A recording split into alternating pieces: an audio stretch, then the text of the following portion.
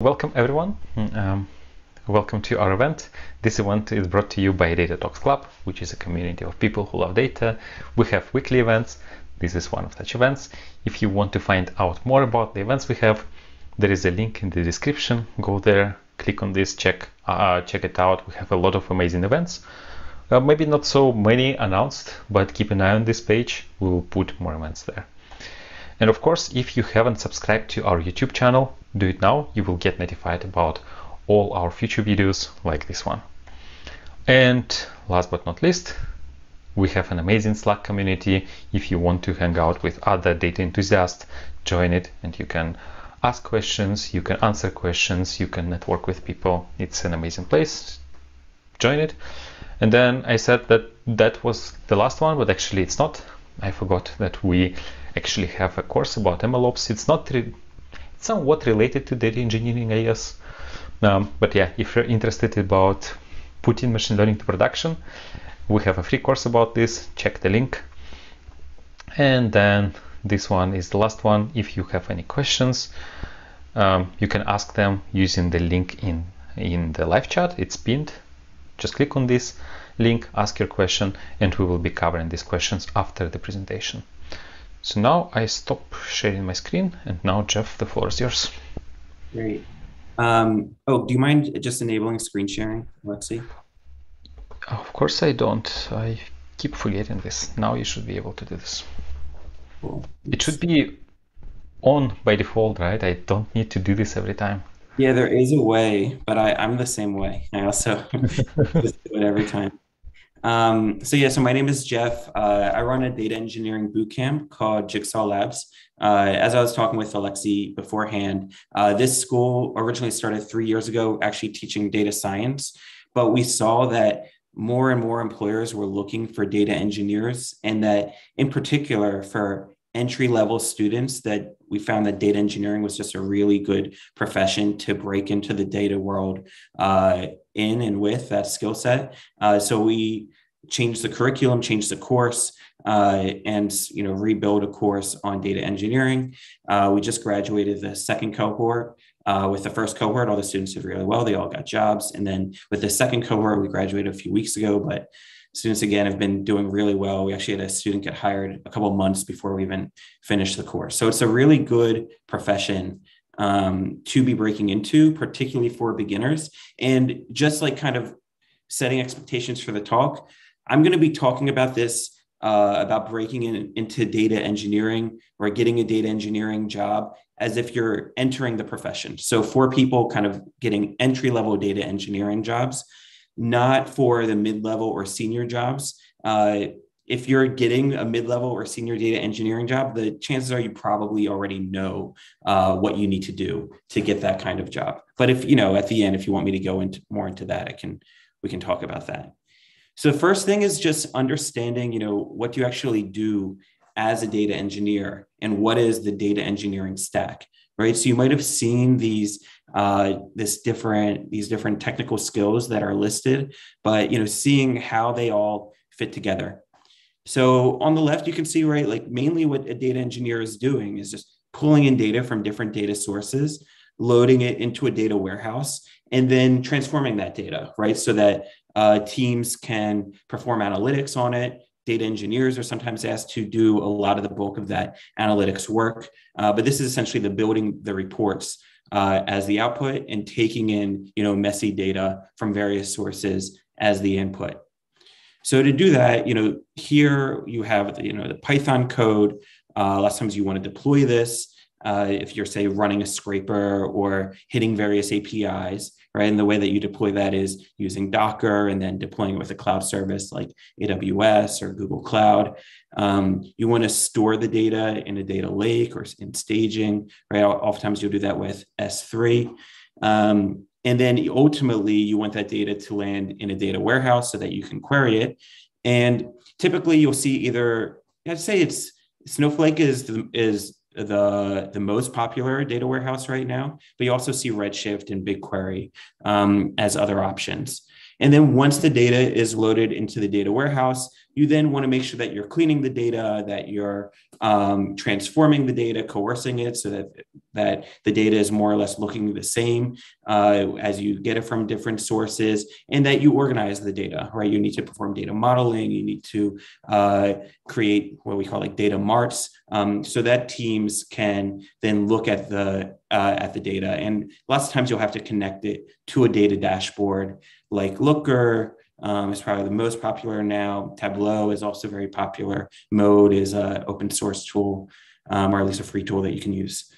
Um, oh, and then finally, Airflow, right? So an orchestrator. So Airflow Prefect is an alternative as well, Dagster. Uh, but this is what automates, right? The running the scraper, loading the data into S3, then into something like Redshift, and then right, you can let DBT also uh, you know, can kick off DBT workflow, and it can also then start to perform uh, coercing of the data, right? So you can automate this uh, with an orchestrator like Airflow, right? So this involves obviously like various skill sets, but the main skills, and you'll see this, you know, again in the talk that you'll want to focus on is Python and SQL.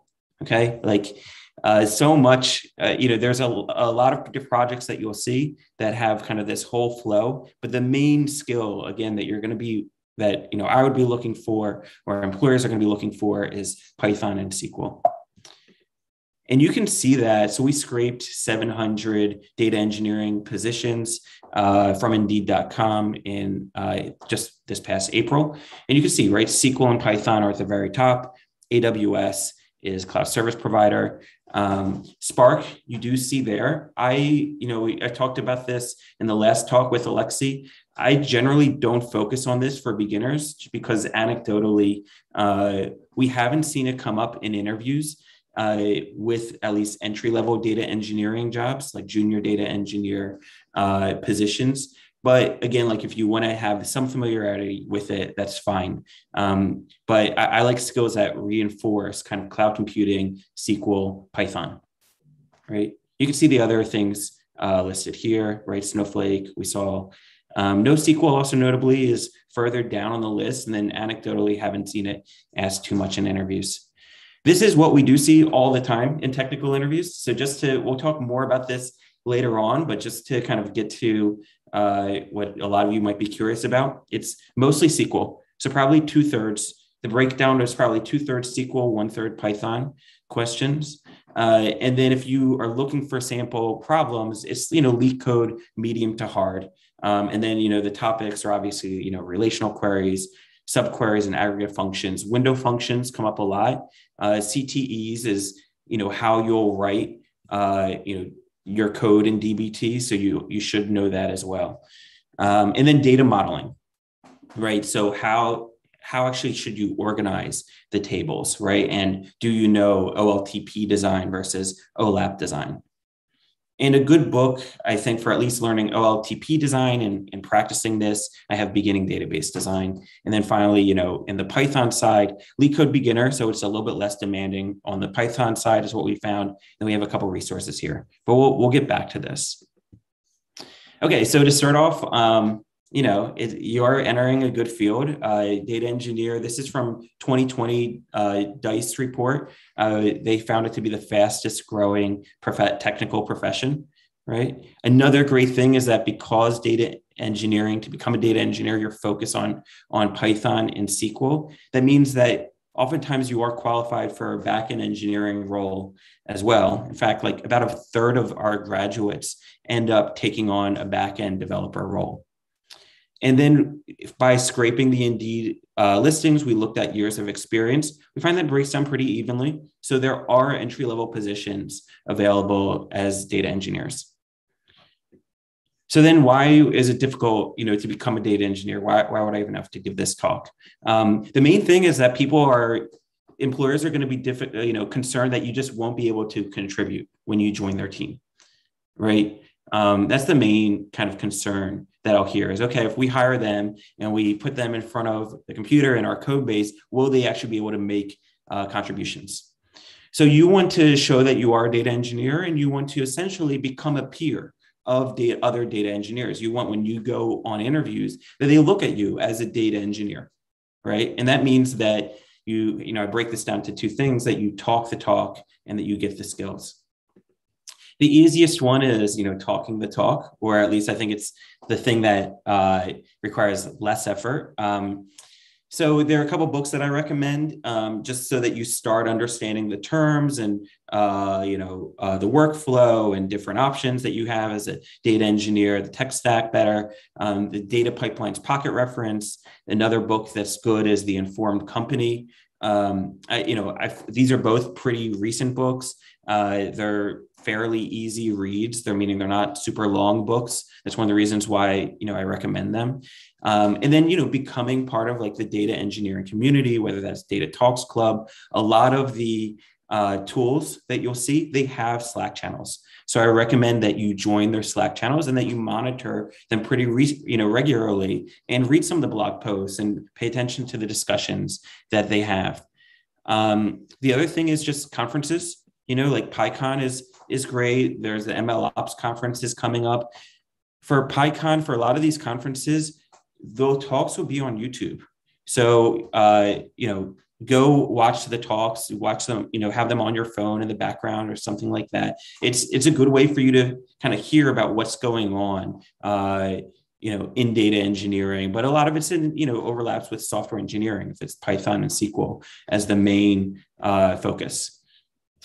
And then same thing when you network with people, you want to start to get deeper into that community, right? So when you talk to data engineers or chat with them on Slack or you know set up you know phone calls with them, ask them you know hey what books are there any books or resources that you think would be good for me to learn? Um, are there other like data engineer communities that you're a part of or communities in general like engineering communities you're a part of that you recommend? Right? This could be like meetups or slack communities uh, things like that um, is there anything else or anyone else you know who would be useful for me to talk to? So actually, you know, maybe they have another contact. So this way you can start to expand uh, your network and kind of get deeper into the community. And then when you um, start talking to other data engineers, they'll be, like, oh, like I read that book too, right? Like you'll you'll start sounding and will be more and more of a peer.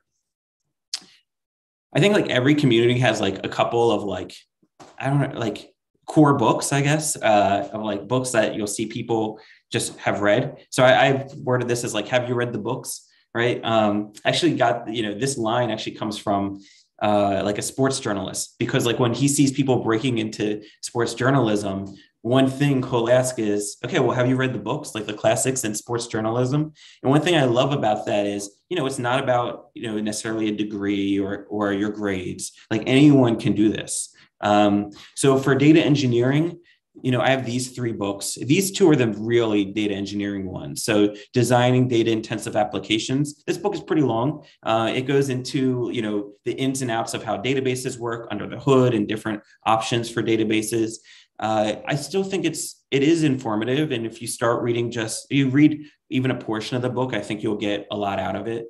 Um, you don't have to read it cover to cover, I'd say. Uh, I'd say that's even less, even more the case with Kimball. Uh, but you should know what Kimball is. Uh, you should be like, I'd say it's worth reading a few chapters of Kimball. I think after that, you can kind of get the point. Um, but this talks about you know database design and OLAP. Um, and, and uh, you know when people mention Kimball, you should definitely know what that is. And then finally, this you probably wouldn't see in the list of data engineering books, but you will see it in engineering books in general. And that's the the Gang of Four book, right? And being a data engineer, more and more you'll see people say, I want software engineers, right? When I hire, uh, when I talk to hiring managers, I'll say, well, really, I want a software engineer.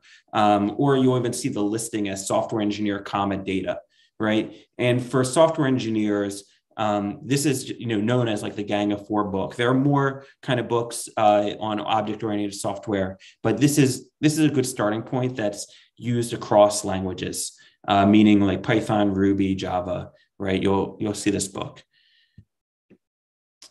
All right. Um, so then you know, walk the walk is you know actually build a project, and this takes a lot longer than reading the books, um, but uh, it's it's more important as well, right? It, it's essential uh, that you do this. And the main thing I'd say, you know, you have this whole tech stack, but the main thing that I'm kind of really highlighting is Python and SQL. Uh, one other thing to mention is that and you'll hear this too. If you choose, you know, Google BigQuery instead of AWS, if you choose, uh, you know, you know, or Google Cloud instead of AWS and BigQuery instead of Snowflake, uh, if you choose Prefect instead of Airflow, that's not a huge deal. I, I think that's fine. Um, you know, like maybe you'll get a slight bump if when people see exactly those skills line up, but most hiring managers will be fine with you using any of these. I don't uh, I don't uh, teach students Looker because it's so expensive to uh, use it right now, and it is pretty complicated. So Mode generally works fine. Tableau works fine. Um, but what? So you know, these tech, this tech stack is kind of you can trade off certain tools at for per your preference. The main thing and the main kind of issue I see when looking at student projects um, and this goes not only for data engineering but engineering in general is you know when i see people post projects on linkedin or or reddit or things like that i'll you know, i'm clicking through to their code and seeing very quickly like okay what does their code look like? Can they write good python? Can they write you know what do their sql queries look like? And quite often meaning maybe half to even more uh, of the times that i do so there's not a lot of python or sql code just even to look at all right. So for Python, a good benchmark is like 300 lines of code at least. Like, I don't think that's actually too much to ask for. Um, sometimes I'll really see hardly any. Uh, and then same thing with SQL, you know, have a, a couple hundred lines, maybe a hundred lines of SQL code. Um, we're looking at the quality of, of like clean code. Uh, when you see more advanced people's code, maybe you'll see like I so I put in here just some basic qualifications to write clean functions, keep them five lines or fewer, use object oriented programming, and keep your objects 100 lines or fewer, right? You'll definitely see more advanced engineers, uh, experienced engineers, you know, not even consider this a rule, let alone break this rule. But I think that what you will see is engineers will organize their code. Even though their functions are longer they'll break them into chunks of about five lines. And they they know you know this is really good starting point uh, to keep code this way. It's still how i write my code personally. Um, so i would recommend it you know it, it's it's a way that will keep your code clean. Um, if you just keep your functions small keep your objects small and if you Google like small code, you'll see that this is something that engineers really aspire to. The other thing is like descriptive names. This goes for your variables, for your functions, right? Like if you write something list or something dict, you know, like uh, all, all over the place, that's really gets to be confusing code. You want people to, your code should be readable. That's the main thing that we're looking for is that you have readable code.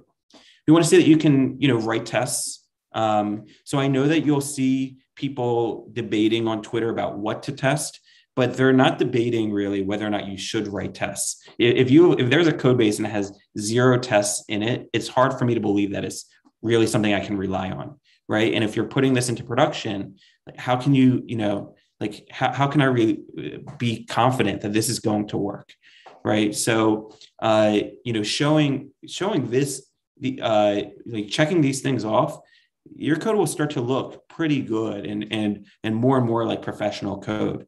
Um, same thing, descriptive git commits. Just don't write like init, you know, commit, second commit. You know, just take a second to specify what you're actually uh, are doing in that commit, and you know, ha- put your code into organized folders. If you want to see some examples, you know, the Prefect code base is open source. 18F is a government organization. They write really clean code um, you can browse around and see you know their repos uh, as examples. And then build your analytics in sql right? Like you know, there's a lot of opportunities for you if you do the analytics you know how many users per month how much monthly revenue uh, you know uh, most popular products or revenue per product things like that. You know these are all sql queries that you should be able to write.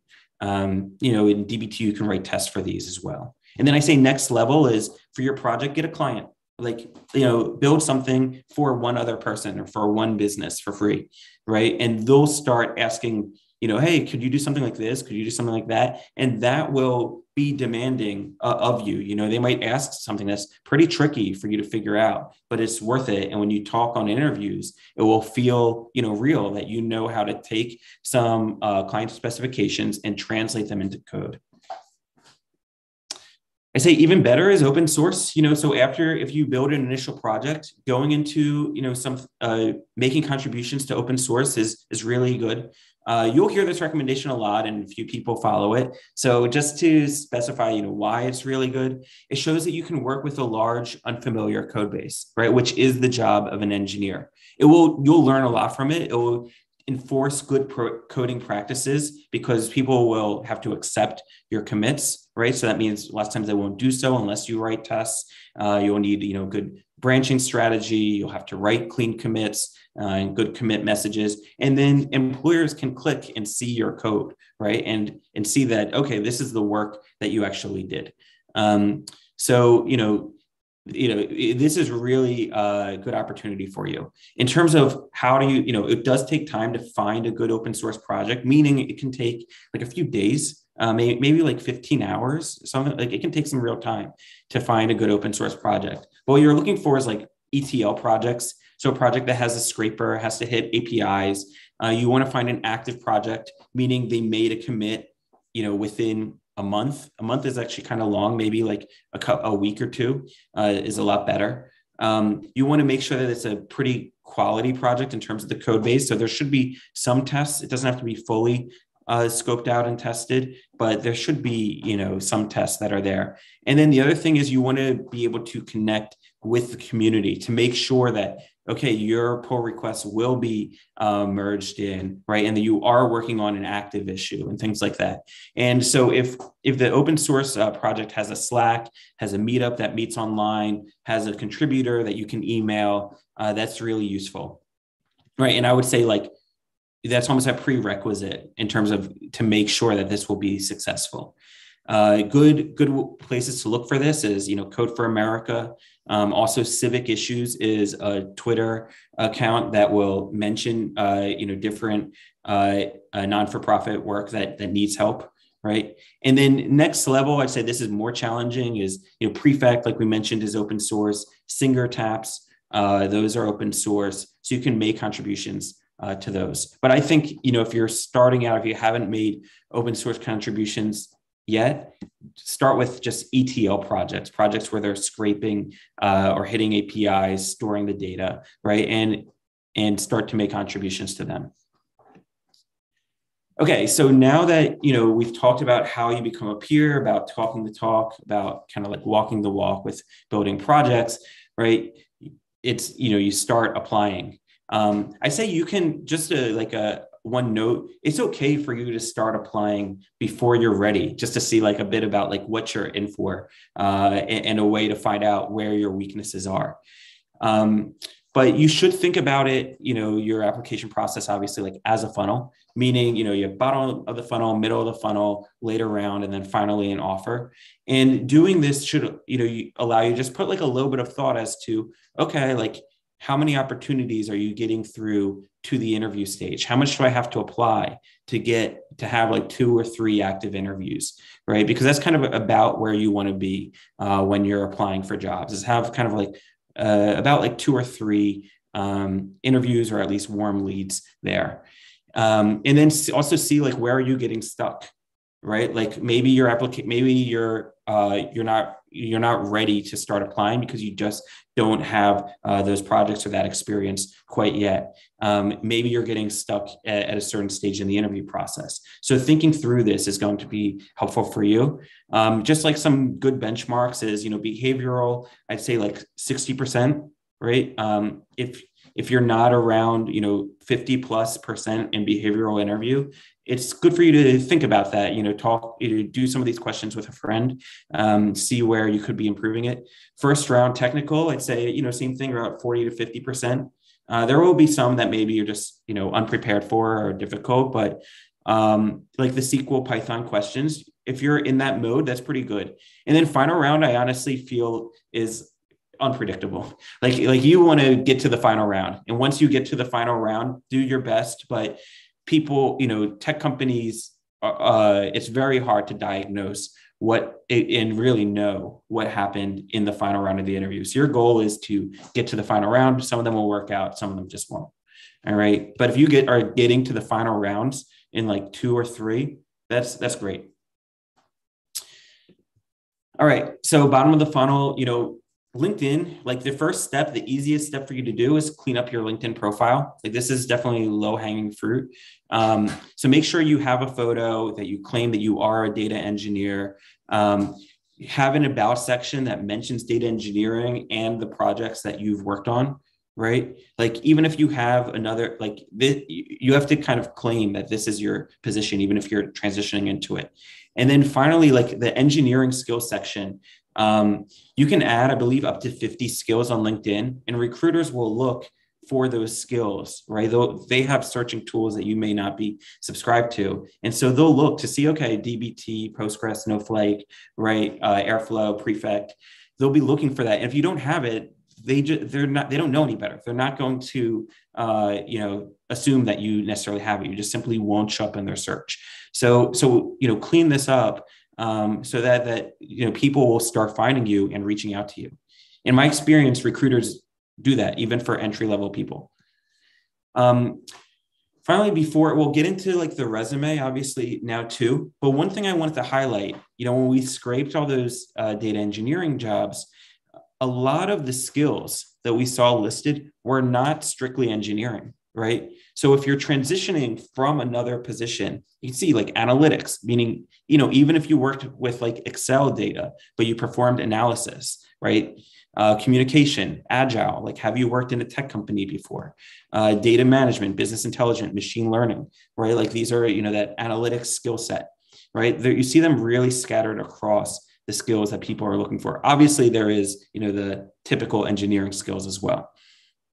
But when you get to your uh, resume, you want to be highlighting that, right? So it's very typical for me, you know, at the end of uh, our program, um, at the end of the course, I basically interview the student. You know, I, I talk to them for, you know, 30, 40 minutes because for many students, they've done things related in their past jobs, but they're not in their resume right? So this is like just very very typical. So you know what things that i'm looking for have they worked with sql before in their past you know positions? That should obviously be listed in the interview. Have they done data analysis even if it's with excel? Any engineering or working with engineers? Um, have they worked with like data collection data quality? Even if that means looking at the ground level right? Like oh, we saw, you know, we know that we can't rely on this data or this doesn't translate at, on the ground or I, I have to train people how to enter in data properly. Well, that's not, that may not seem super technical, but for uh, a data engineering role, people want to make sure that you're not just have your head in the SQL query, but are thinking about how this translates on the ground, right? Product ownership development, right? This shows that uh, you know you you can kind of think through a project end to end. Uh, that you can think about what's uh, what's needed and then execute on it. Um, and, and it shows, you know, that essentially your employer trusts you to a certain degree. So these types of uh, positions are good, and that you also understand maybe like product development just in general in that life cycle. Um, so anything related to that, I would kind of I would highlight and, and, have that come through in your resume. Data storytelling, uh, data visualization, right? These um, this can be a component of the job, so highlighting this as well. And then, you know, related domain like marketing, finance, or lots of data engineering jobs where they, you know, essentially you're helping the business run. Uh, and then there's like bio jobs as well. And then finally, like sometimes I'll see people leave out like their like some of this, you know, some of the, of the students that I've taught are really really excellent in terms of like athletics or music, things like that. And include that in your resume because you know as uh, like one ceo told me is just like you know excellent people are just like excellent right? Like if you have excellence in one field that takes a lot of you know discipline self-learning uh, passion right? Like they'll believe that you can or they'll give you the benefit of doubt that you can bring that to something else that you're passionate about right? So yeah absolutely. If you you know played on your college basketball team or something along those lines or or won some awards put that somewhere on your resume. Um, if nothing else, you know, people will probably ask you about it. General tips, you know, other things that I'm kind of always kind of asking uh, when I look at resumes or trying to improve them is you want to show that you're on the path to becoming a data engineer, right? So maybe you've done some analytics in the past or product development in the past, and now you're, you know, you've built these projects, and that is leading you into, you know, the data engineering role. So your your resume should kind of tell that story, you want to shape it so that it does. Um, the other thing, just like with every line, is, uh, and this I got from, I think the CEO of Prefect. He, he's like, he's like, when I read a uh, read a resume, it's like, so what, so what, so what. With every line, you know, why are you telling us this? Okay, so you know they they're trying to read how does this fit into our role? How does this skill set help us? So having that question in the back of your mind with every line is is useful. Uh, one thing I'll also ask, you know, uh, students to try to figure out what they really did, what's what's impressive about what they did, is what was hard or interesting about your job, right? Like what, what was the challenging part? And oftentimes that is something you'll want to highlight, or like what problem did you mainly work on in your job?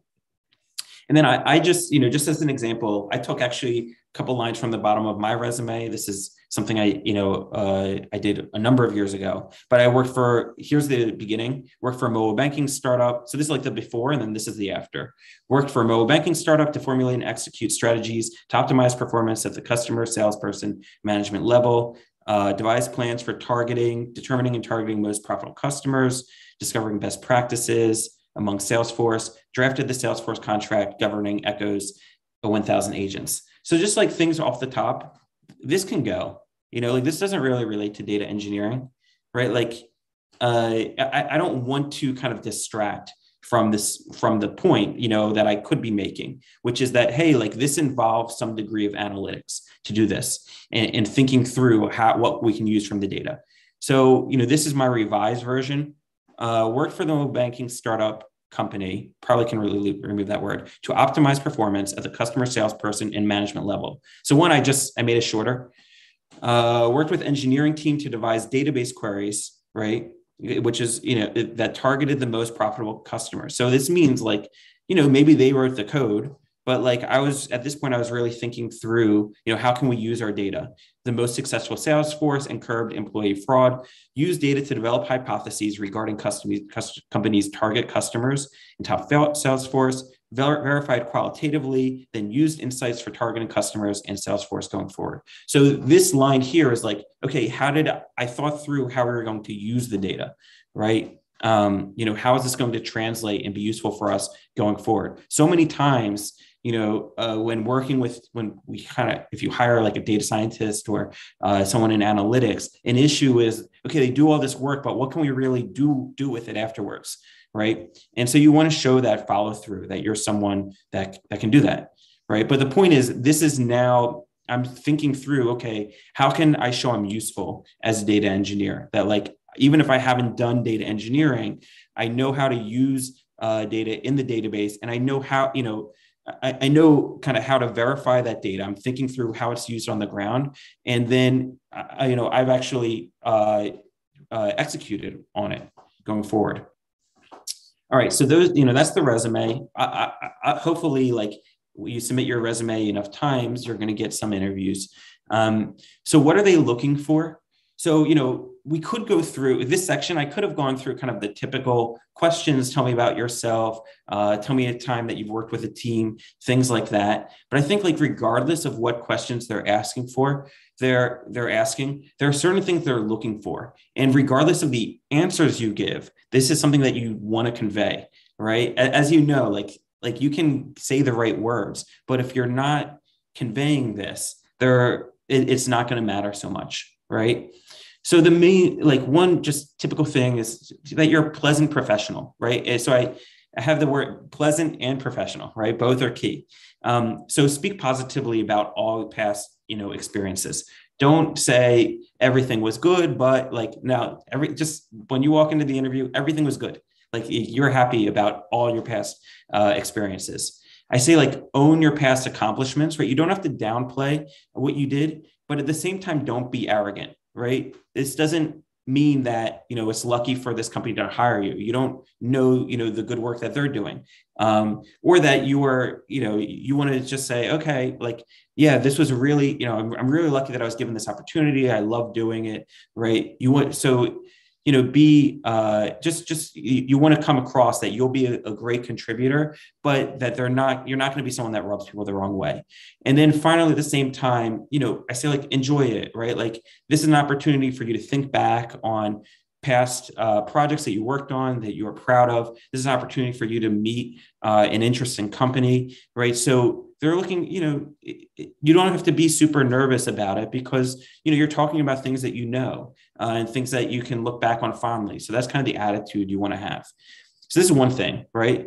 Um, the second thing is just, can you speak clearly? Uh, and sometimes what I'll hear is people will be that are very social um, think that they have no issues then communicating. But you know, speaking in a professional setting means that we want to make sure that you can really communicate your thoughts, um, that uh, you speak in a relatively organized fashion. Why, why is this valuable to companies? One, clear, clear speaking communicates clear thinking right? It's very, it's, I say it's a prerequisite to speaking clearly is thinking clearly, right? And then two, obviously, as a data engineer, you may be one of only a few data engineers for the company. So being able to communicate to the tech team or to other people uh, that are not technical is is very valuable to them. So things that I recommend: write an outline. Uh, it doesn't have to be super fancy. Like this kind of counts as an outline, right? Uh, heading, subpoint, heading, subpoint, right? And then here's the overall topic. Here's what they, they look for. So just being able to say, okay, I was a product owner of this uh, tech stack. As a product owner, I did X, Y, and Z, right? Another thing is problem to solution. So you may say, okay, the company had an issue with X, so I did, you know, so we had to do this. Using these guidelines is really helpful. telling about the problem and then how you help to solve it, right? Helps people really frame why you are doing this. It's good for kind of like storytelling, people keeping engaged. And then same thing with like speaking about the tech stack. Okay, we set up this data pipeline, but we didn't have a way to automate this and to make sure, you know, that these steps are performed in sequence. For that, we use Prefect, right? Talk about the problem first and then uh, how it was used to, you know, how you solved it, right? And that shows that you understand that you're not just, just using these tools because someone put them on a slide, but that you understand how they solve the problem. And then the last thing is that you're interested in the position, right? Obviously, people care about this because they want to make sure that you're going to be an engaged worker. Um, and they, if you just think about how much more value you get out of an engaged worker than someone who's not engaged in their job, it's enormous, right? Um, they, if especially if you're breaking in, they don't expect you to have all the tech skills. They know that they're going to have to train you, but they want to see that you're going to ramp up and you're going to be interested in ramping up as quickly as possible. They're kind of like taking a, you know investing in you almost and they want to see that roi so the main way is for me at least is like okay here's what i did in the past here's kind of what I want to be and, and be as a professional in the future. And so this opportunity is the perfect next step for me, is the perfect thing for me to get there. Right. And one thing that I would do is I would look at my resume, actually, you know, put the resume in front of me, put the job description of the place I'm applying for on the other side, and try to essentially draw a line between what I did in the past what this is going to allow me to do in the future right? And and really convince myself before i walk into the interview. Um, and then here is you know kind of goes along those lines is make it genuine. Like actually find something that you're interested in and a reason why you, this uh, is exciting to you. So read their blog, uh, read about what their company is involved in, read about you know the team's LinkedIn profiles, what they did. You know, if you know if nothing else, you can read about pa- people's past experiences and have a good conversation with them. Uh, so what interests you? Uh, what really genuinely interests you about that? I mean, it, it, you it sh- you should be able to find that if you're uh, really aspiring for this position go on their github you know see if they have a github and poke around on their code. Like like this is ways for you to really show that you're genuinely interested.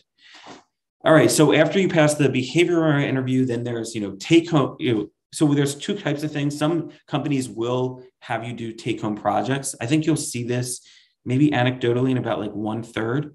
Um, but you you'll come across this relatively quickly. Uh, so typical thing is, you know, we have kind of sales data. Um, it'll have dimensions about like time, product, maybe being sold, sold, the branch, um, and it will probably be like in a CSV. So they want to see you load the data, query the data, present your findings about some insights about the data. Um, why they care about this? Well, this is you know good ETL project. It requires you to do data modeling. It you know has you think like we're saying like on the ground about okay what's missing from the data? How clean is this data? Dupl- you know do we have duplicate data? So it's making you think you know how how reliable is this data and what can we do to make this data more reliable?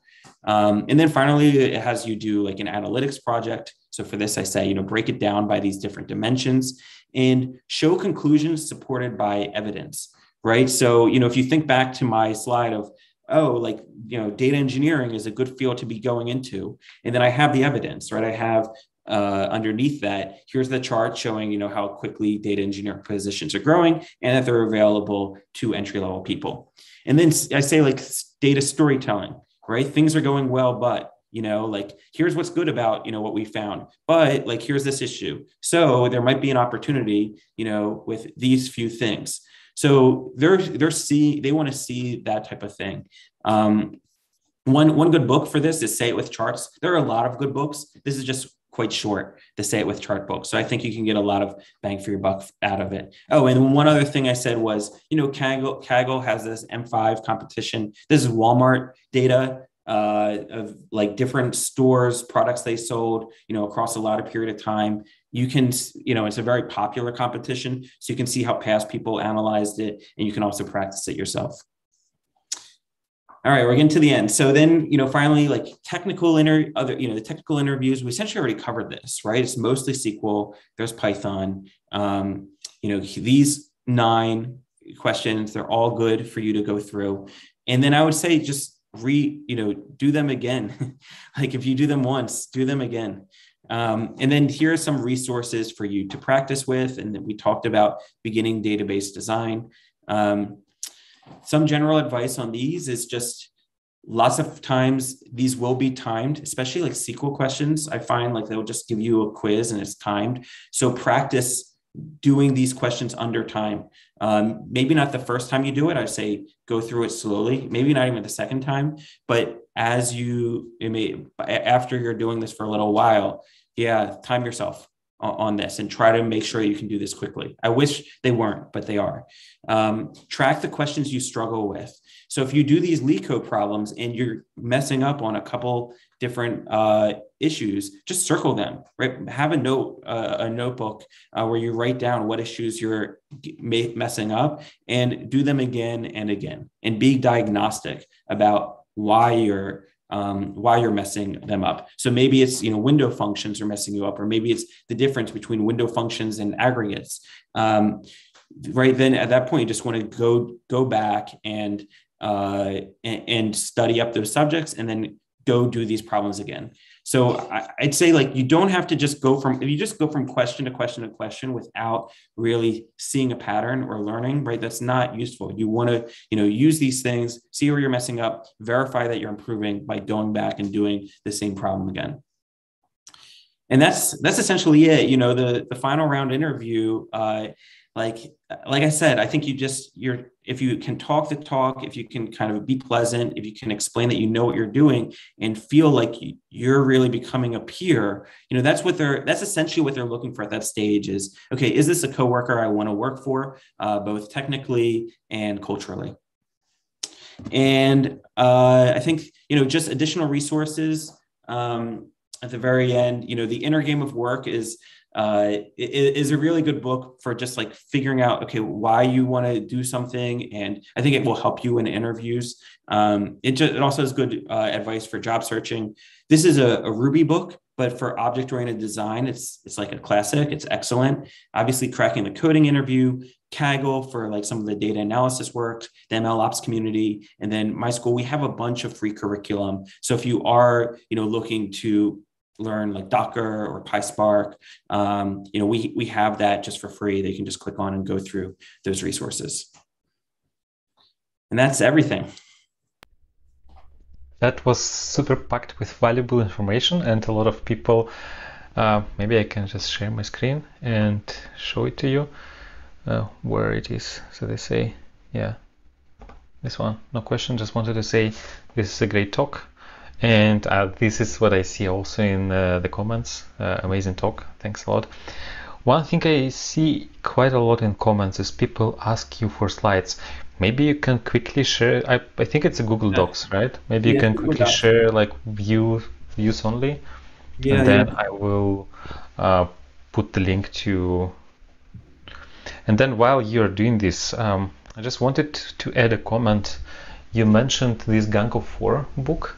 Mm-hmm. I think it's a super dry book. Like it's uh, like I was trying to like when I was getting started. This book is super old, right? So when I was getting started, um, was it like 12 years ago? This book was already old back then and I was trying to read this, and it was like, okay, why am reading? am I reading this? I don't understand. I think and C++. Why do I torture myself with this thing? Yeah. Just because somebody is telling me uh, to read this. And what I found out is um, there is a different book called Head First uh, Design Patterns. I have mm. it here. This one, it's more accessible. Like it's it talks about mm, the same patterns, most of them, not all of them, but it's like. Uh, it's more engaging to read and it doesn't bore me to death. Uh, right. So that's. I, I, think it's really fair. Yeah. yeah. This is a good book. Gangs, Gang of Four is a good book. book. Uh, I don't have anything against this book. This is a great book. Uh, but I, like you have to have some discipline to go through this. Maybe a bit of experience to really understand what I, they talk about.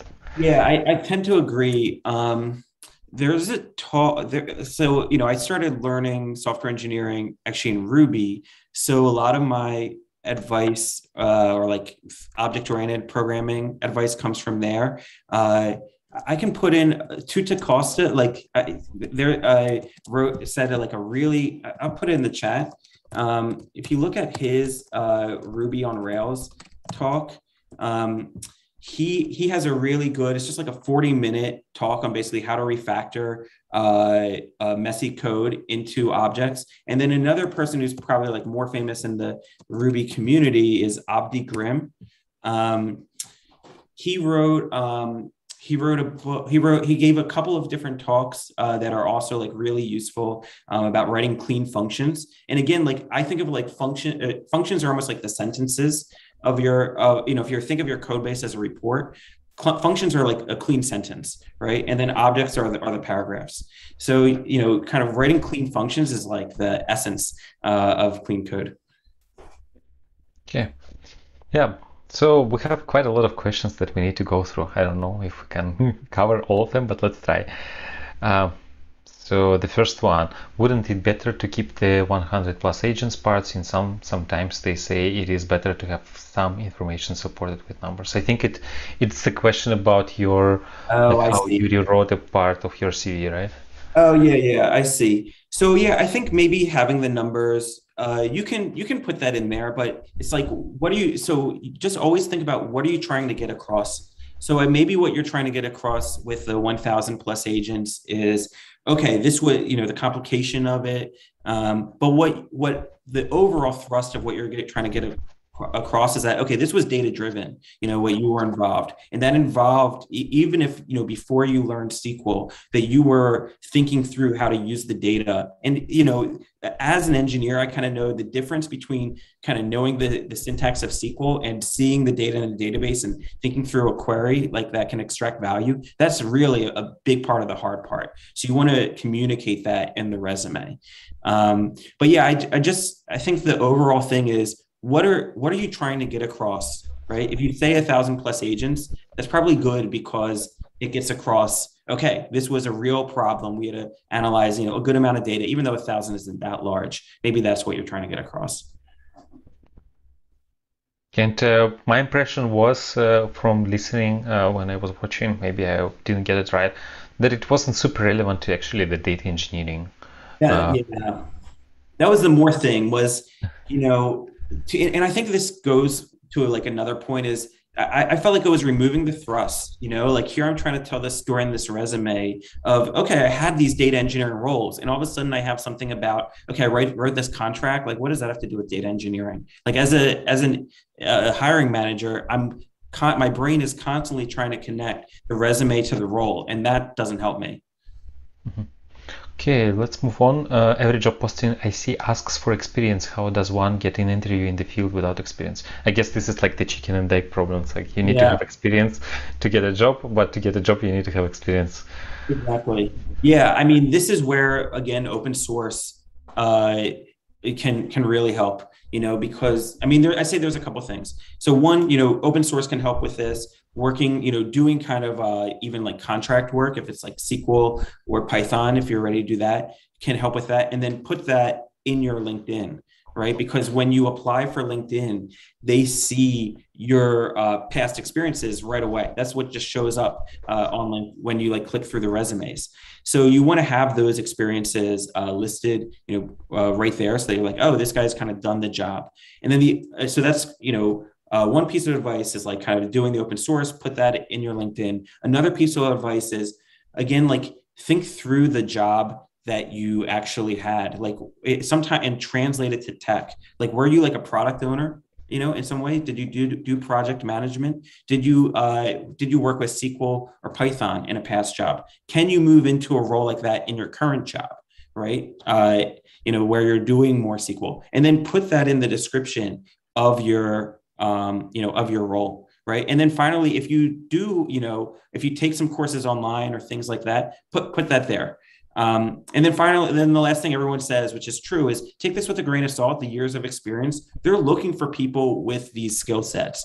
Um, and if you have the skill sets, you, I, I think, I, th- I really think you'll. I haven't seen a case where someone has clearly had the skill set and not been able to land a job.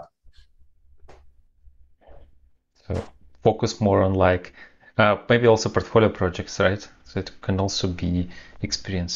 Like if it's a problem that you solve for you but this is a real problem not just you know you found a data set on kaggle and did this but this is really great. And uh, i also hire people not for data engineering though but i really love talking about these kind of pet projects people did. It shows many things like that. They they really like this field. They are ready to go the extra mile. They're passionate about what they do and uh, and it it also gives us something to talk about on the interview right? Yeah, and I would just like underscore what you just said about you know go the extra mile are patient about what they do because it's it goes back to okay you click on the code of a project and you're like where is the where is the code? Like where where is something beyond the kind of generic that you generally see? Um, that's where you know you're communicating you know that passion and that interest uh, through your project. So another question from Srikanth uh, Srikanth. Will expertise in AWS certification add value to data engineering and help in getting a role? Yeah, I, I think that it does. Um, I, at the same time, uh, in, in like sometimes it's a bit uh, the skill sets that are required for an AWS role is uh, beyond what you need. We're kind of a little bit off track. So I'd still say, you know, the main th- if you can, uh, I would say I say overall, you first want to make sure you've nailed down the Python and SQL skills. Like that, that's where I would put your energy. So if you are kind of like passing, you know, the SQL medium to hard problems and you're getting, you know, Python beginner, maybe, maybe up to medium, you have this project, and then you want to add an AWS certificate, AWS certification. Okay, cool. Um, but if you're looking for data engineering, I'd say first get those check marks first. You know, AWS certification could be more for like cloud engineering uh, type role. Mm-hmm. And maybe I will add to that that nobody cares whether you have a certificate or not. People, at least, uh, like it will not. Uh, uh, like you will still need to do a test. You will still need to do a live coding, right? So then, like the certificate doesn't really show like right. doesn't give you any advantage right but what gives you is actually knowing these things right? right. so if you know aws nobody cares whether you have a certificate or not I would, and that goes for every skill set. like, like if you have, it doesn't matter if you have the skills. Like, if you have the certificate, have the certificate. Like, people uh, only that maybe will get you in the door, but very quickly they're going to find out whether or not you actually have the skill. Mm-hmm. I have 20 years of experience in an unrelated field and have built up the skills and project portfolio. How do I convince recruiters to give me an interview?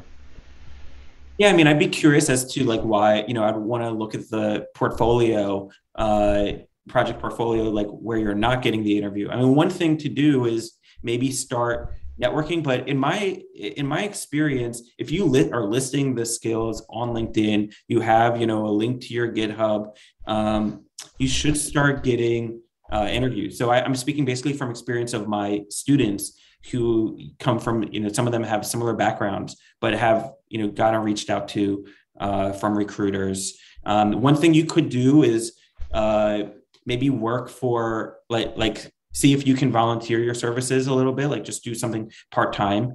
Uh, so you know when you see these kind of positions or like the open source like i said is very good. Um, but yeah in my experience you know just having teaching students that come from past backgrounds they're generally able to get interviews. That's not where they get stuck. So i would just make sure that your code do you really have the sql and python in there? Does it look like clean code? Things like that might be why you're not getting uh, through. Mm-hmm. it might also depend on the location where you're in. Like maybe yeah. in new york city it's a very hot market right? But in other uh, like i don't know in ohio or like any other city. Maybe it's not so uh, like they they look more for people with experience. Um, so do you have any maybe suggestions for people who are based in these geographies where data engineering is not in so much demand as maybe in NYC? Um, I mean, well, one thing I'd say, is, like, well, in the U.S., generally, you're still a like people i think at this point are still able to get the positions with kind of like remote I, when it comes to kind of other countries maybe outside of europe i think it is can be more challenging if their job is not located in their country um, so that's one thing uh, unfortunately that i feel like is the case at that point you probably will have to rely more on networking meaning you know you know a lot of these kind of like open source projects or meetups slacks right? Like you can then talk to people face to face and but at that point you really have to be kind of like that peer right? You should you should kind of have the other check marks there meaning you showed that you can do the job. One, one thing i you know was almost going to put in the uh, talk is no one's going to like networking enough will not get you a job if you don't have the skills. Like people are not going to recommend you for a position just only because they like you, right? If you don't have the skills. The reason why is because one, you're not going to get the job anyway, right? And then two, um, you know, for that person, that's going to they're, they're going to be seen as not making great recommendations to the employer so it's going to taint the relationship with the employer so even me you know for my students like I'll I'll only recommend a student like for a position when I know I think they're going to be a good fit. It's not doing anyone any favors for me to recommend someone who's not ready yet. Yeah, makes sense. Thank you. Uh, does Jigsaw Jigsaw Labs have any free resources for data analysis, data science, as opposed to data engineering? Yeah, we have we have a ton, uh, like intro to machine learning, building a neural, neural network from scratch with uh, PyTorch, uh, Pandas, you know, things like that. Intro to Python. um, yeah. So how do do people find it? Just oh yeah, just go to uh, jigsawlabs.io, uh, um, and then you can like yeah, jigsawlabs. Dot yeah, press return, and then click on free courses. And then you know you just scroll down. So this is uh, you know me teaching my mom pandas, Docker. Where? Uh, this right Where here. You see the, the, the video? This one, right? Yeah, yeah, that one. Okay. Yeah. um, uh, Docker, Spark, uh, Intro to Machine Learning, neural networks with PyTorch. So all these you don't have to log in for; they're just uh, Colabs. Mm-hmm. That's cool. Okay. What are the best resources for learning Snowflake and practical implementation, production based, keeping in mind, I want to implement it with my startup team. Right. Okay. So there. So one, the documentation at Snowflake is really good, and a lot of times they will have essentially like tutorials uh, as to how to go through things. Um, there are a couple. I think for me, just like getting started, there are a couple of like YouTube talks that were like an hour plus long that I really you know enjoyed and kind of got started with. Uh, one thing to note is that you know Snowflake still is mainly SQL right? Um, so it's like you get started, maybe you learn about like staging and Snowflake and things like that, but, but that's not too much. A lot of it's really just like navigating uh, you know, the interface and then writing SQL and then going through documentation as you go through it. Uh, maybe a little bit more tricky is then understanding just like how Snowflake works under the hood. Um, but you can you can get that through the documentation and through some of those YouTube talks. Do you have time for a couple of more questions? Yeah, sure. So I see that uh, this one probably will take an hour or yeah, but, uh, I think we talked about like uh, just to read this. So this the question is about uh, how Jeff transitioned uh, from being a lawyer to software engineering. I think if I go to Data Talks Club, actually it's not the first time Jeff is here on Data Talks Club. Um, so we had this teaching data engineers uh, podcast episode, and I think at the beginning uh, when we talk about Jeff's background, you can talk a bit about you can see we, we talked a bit about that. Mm. so maybe that will answer your question. Um, I know do you want to add anything to that? Maybe you had some other interviews where you talked about that. No it's mainly just uh, um, you know working at a startup and then it, like i kind of in that resume section right that's real that was really the startup where i started they, they were really like oh well we're too busy to do this sql query for you but here's a book on sql go for it so thanks. I'm autistic. It is a challenge explaining my thinking process when speaking mm-hmm. to someone I have not met before. Do you have any advice on how can I approach interviews? I wonder if you can write down your thought, you know, say, hey, can I have a moment? Actually, you know, it, it would just be helpful for me if I can gather my thoughts. Do you mind? Right. And write down, take your time and, and write down a couple of notes and then go through them. I still, th- I think that that will, uh, communicate show that okay i am thinking clearly or can you know think through a problem um, you know and i just need you know to kind of lean on notes when and that's not i would i personally wouldn't find that i would find that fine you know if someone's able to do that. Mm-hmm. and from my experience as a person who is hiring people i remember i interviewed a person i don't know if um, uh, that person was autistic or not. I didn't ask of course. Uh, but um, like that person would uh, just before answering question would think a bit take a note without even asking if it's okay. Uh, like i thought it's totally okay. Like everyone is different right? Everyone needs uh, to process information differently. So they would just jot down something on a piece of paper. It was still in the time when we had face-to-face interviews right? So they would think uh, write something on the paper and then answer. And also especially when the questions were more like on the technical side of things. And that was totally fine, right? So we hired that person at the end. Um, but every, everyone is different, right? And uh, that's fine.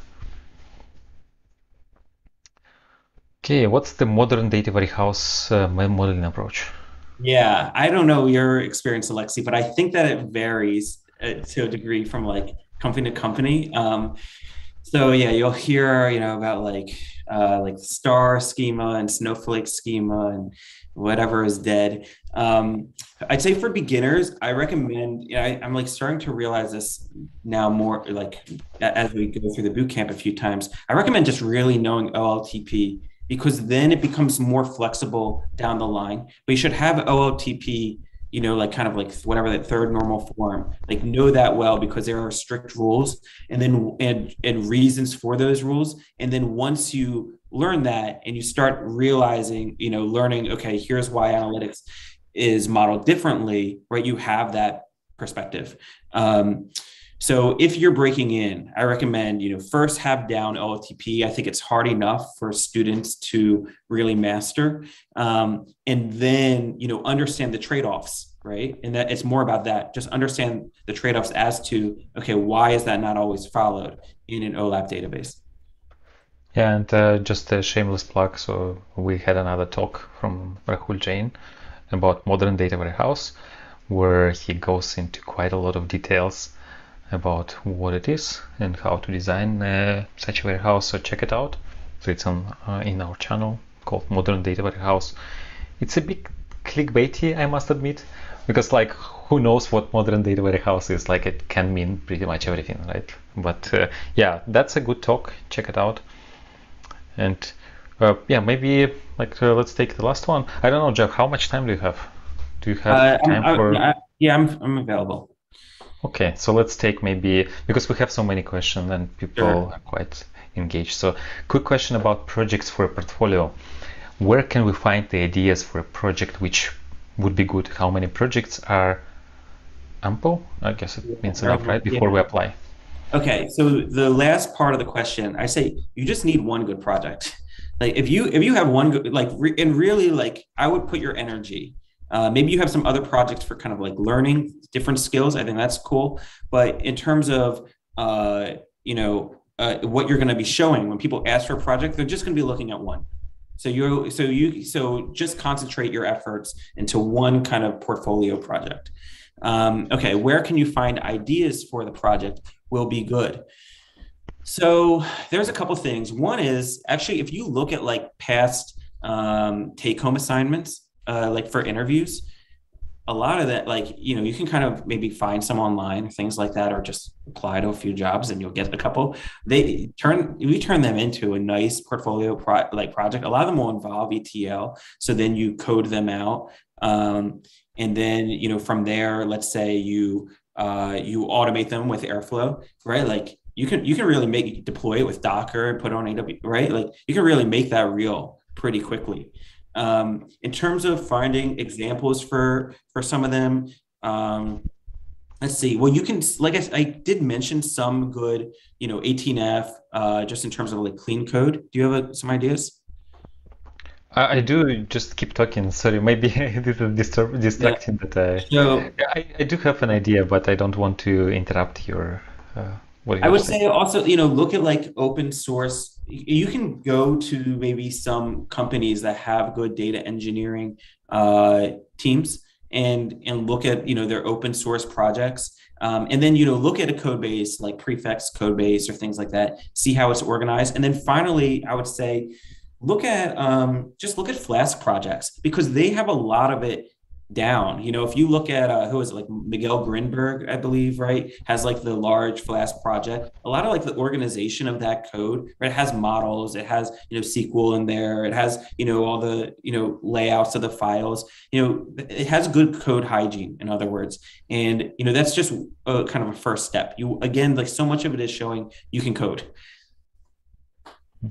And uh, while maybe this is not a good example of uh, great hygiene, I like code, let's say, I just wanted to, to mention that uh, we had a data engineering course, and then at the end uh, there was a part with projects, and students uh, of this course did a lot of amazing projects, and you can find them by going to Data Engineering Zoomcamp, then Week 7 project, and you can just see this peer reviewing assignments and you can just see the like the project that students submitted.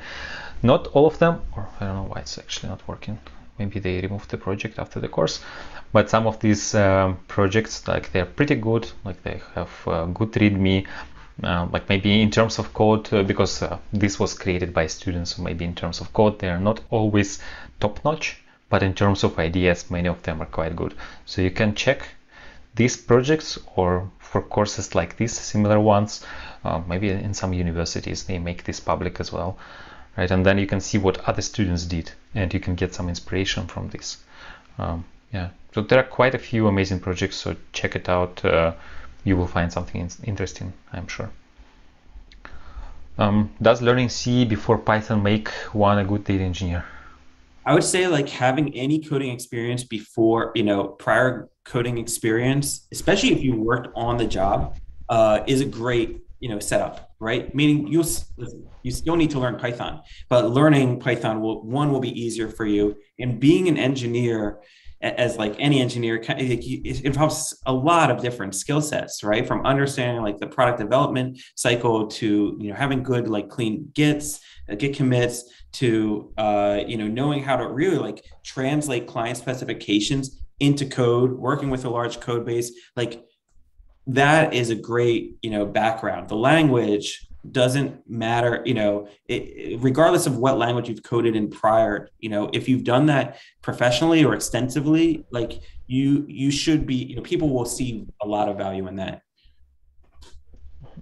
And just a side note c is a terrible language I mean, it's good for some use cases, but as a general purpose language, uh, like you'll suffer with this most of the time. Like memory management and all that, it is just too difficult, and most of the time you don't need that. Um, oops, I think I just closed uh, the one. So that one that I just accidentally closed was about uh, somebody had bad experience with recruiters that they're finding that person through LinkedIn. Mm-hmm. Um, do you know what they mean and how to avoid that? I mean, I, I wonder what the experience was. I mean, one thing I would say is, in my experience, like recruiters, uh, it, it's like okay my perspective on recruiters is very like I, you hear a lot of uh, you know negative comments about recruiters on linkedin and things like that especially when it comes to beginners. One thing i just say is like recruiters are not technical. So they don't know whether or not you have the skills or what it means to have the skills. All they can do essentially is try to maintain the relationship and look at like years of experience a graduate whatever as a proxy you know? So if you kind of like have that perspective they're not trying to be like malicious.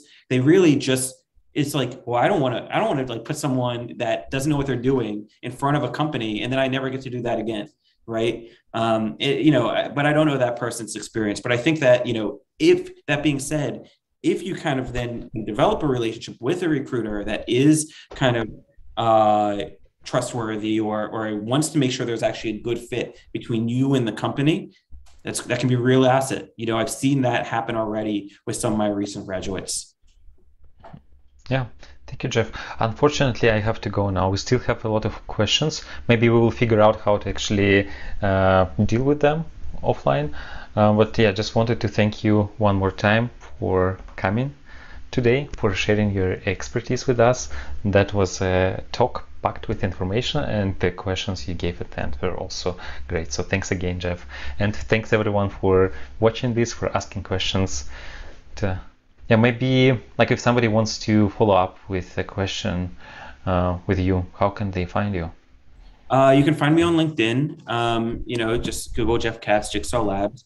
Uh, you can also obviously like go to the website and if you want to you know schedule some time to talk or something like that just click on the talk with us button um, you know our, co- our next course is starting uh, in a few weeks so if you're interested in the course like i'd say you you want to we have a technical interview so you do want to get on that and uh, just schedule some time to talk with me. Okay thanks again and uh, that was a pleasure talking to you as always. So yeah have uh, the great rest of your day